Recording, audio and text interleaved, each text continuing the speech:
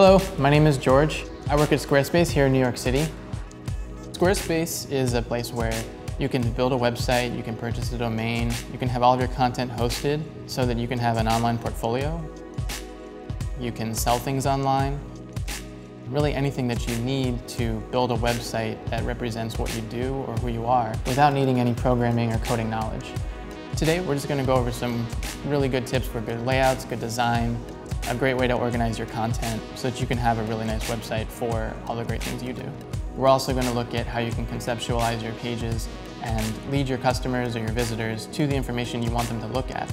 Representing your brand the right way is important, but getting them to the information is even more important.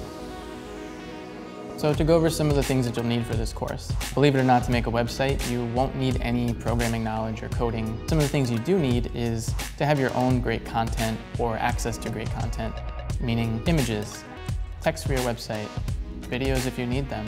If you can gather all of that information together so that you have it accessible while you're building your website, it's going to make it a lot easier for you to get all that content organized in the way that you want. Some of the things that we're going to cover today are just going to be best web practices, the best way to organize your content and get ready to build your website. I'm going to be demonstrating using Squarespace, but the practices are universal no matter what you decide to use. We recommend this class for makers, freelancers, small business owners, but really it's great for anybody that wants to have a website.